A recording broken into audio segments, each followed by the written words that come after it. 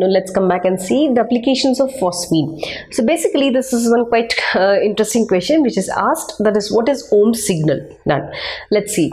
In Holme's signal now what is this signal basically? Whenever you find like whenever you just uh, when i'm speaking about your uh, sea when you are moving around the sea suppose it's completely dark you have to find the approaching ships which are there.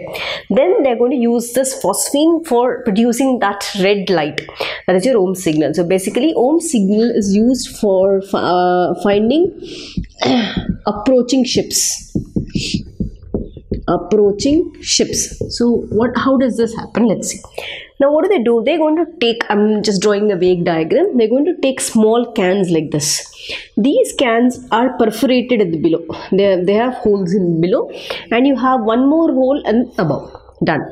What do they do? In this particular thing they're going to uh, introduce calcium phosphide. I've already shown you how did i prepare calcium phosphide.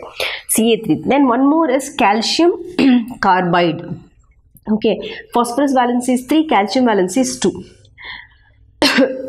this one uh, uh, calcium valence is 2 carbon valence is tetravalent so calcium carbide. Okay done. To this what am i going to do? I'm going to introduce water. So to this calcium carbide we are when it is uh, cal sorry calcium phosphide or calcium carbide is taken in the tank.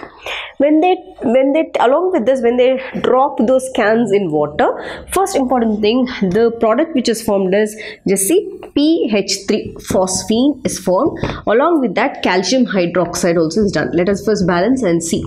Mm, suppose if I take okay calcium is 3 here I'm going to take 3 phosphorus is 2 here I'm going to take 2 and 6 okay done let's see. Calcium C3 3 here. Phosphorus is 2 2 here. Hydrogen is 6 2 is 12 3 2 is 6 and 3 2 is 6 12 oxygen is balanced. So this is your phosphine.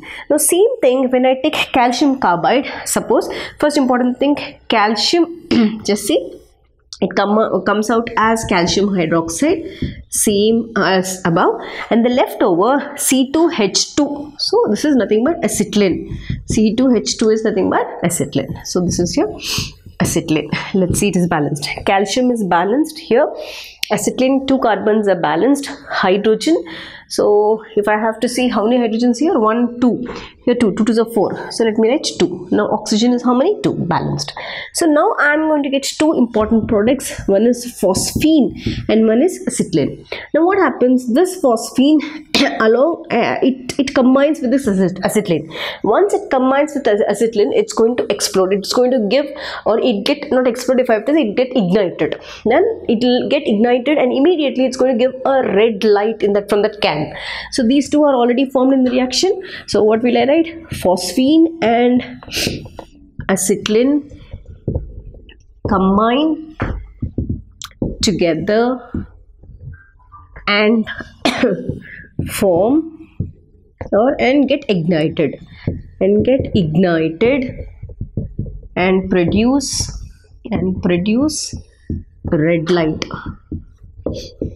Okay this red light is used as a signal for approaching ships the signal for this approaching ships so this is called your Holme's signal. If they ask you try to mention this reaction one reaction two this is your third one. You're going to underline it's going to produce red light and which is given as a signal for approaching ships